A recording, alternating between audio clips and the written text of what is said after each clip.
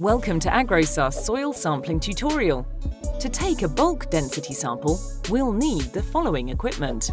A 0 to 5 centimeters bulk density cylinder, a hammer, a wooden board, a spatula, a pair of gloves, some bags, a permanent marker, paper and pencil. Before starting to collect samples, ensure that all equipment is clean and disinfected, otherwise samples may be contaminated. Step 1. Remove the weeds at the top layer of the soil. Place the cylinder with the sharp end down. Place the wooden board over the cylinder and tap it with the hammer until the cylinder is completely sunk into the ground.